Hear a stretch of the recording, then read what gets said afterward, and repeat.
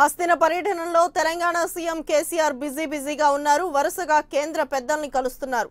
రాష్ట్ర సమస్యలను వారికి వివరిస్తున్నారు. కాసేపటి కిందటే ప్రధాని నరేంద్ర మోదీని కలిసిన కేసీఆర్ పదహారు అంశాలపై వినతి పత్రాలు సమర్పించారు.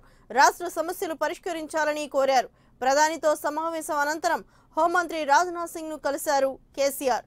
ఆర్మీ స్థలంపై చర్చిస్తున్నట్లు తెలుస్తోంది.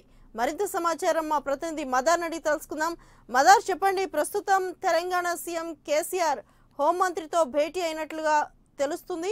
మొత్తం మీద ఎంతసేపు వీరి భేటీ కొనసాగే అవకాశం కనిపిస్తుంది?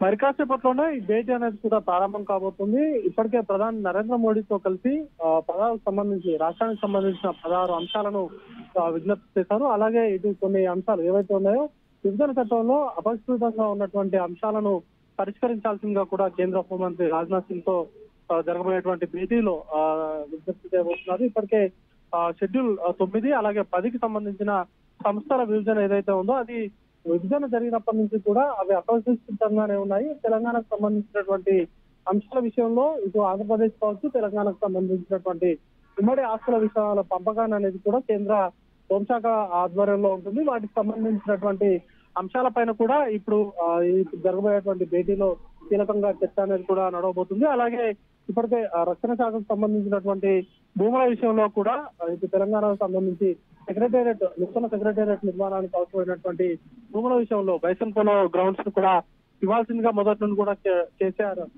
కేంద్రాన్ని విజ్ఞప్తి చేస్తూ కోరుతున్నారు. దానికి సంబంధించినటువంటి అంశాలపైన కూడా ఈ ఇరువురు మధ్య జరిగేటువంటి భేటీలో కీలకంగా చర్చ అనేది కూడా జరగబోతుందని అనుకోవాలి. ఎందుకంటే ఇక్కడికి హైకోర్టు విభజనకు సంబంధించినటువంటి మార్గదర్శకాలు కూడా వచ్చినటువంటి నేపథ్యంలో ఈ ఇరువురు మధ్య జరిగేటువంటి అంశాలు ఏవైతే ఉందో ఆ విభజన చట్టానికి సంబంధించి ఎందుకంటే నోడల్ ఆఫీసర్గా నోడల్ ఇన్స్టిట్యూషన్గా కేంద్ర హోంశాఖ ఉంటుంది. దానికి సంబంధించినటువంటి విభజనకు సంబంధించినటువంటి అన్ని అంశాలను కూడా కేంద్ర హోంశాఖ దగ్గరుండి పర్యవేక్షిస్తూ ఉంటుంది. దానికి సంబంధించి ఇప్పటికే ఆలస్యమైనటువంటి నేపథ్యంలో వాటిని సాధ్యమైనంత మేరకు త్వరగా వాటిని ఆ సంస్థల్ని రెండు రాష్ట్రాలకు కూడా పంచాలని కూడా డిమాండ్ చేస్తూ వస్తున్నారు. దీనికి సంబంధించి ఇరువురు మధ్య జరిగేటువంటి భేటీలో ఒక కీలకమైనటువంటి నిర్ణయాలు అయితే వచ్చేటువంటి అవకాశం ఉంది అయితే మదర్ ప్రధానంగా హోంమంత్రి ప్రధానమంత్రి హోంమంత్రినే కాకుండా ఇంకెవరైనా కేంద్ర పెద్దల్ని కలిసే అవకాశం కనిపిస్తుందా?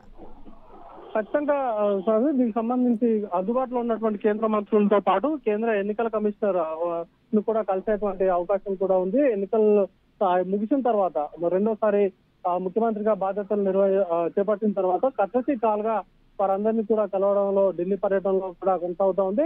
అలాగే ఫెడరల్ ఫ్రంట్ ఏర్పాటు దిశగా కూడా వివిధ రాజకీయ పార్టీల నేతలను కలవాల్సి ఉంది. దీనికి సంబంధించి షెడ్యూల్ అనేది ఇంకా ఖరారు కావాల్సి ఉంటుంది. Swathi. Right thank you mother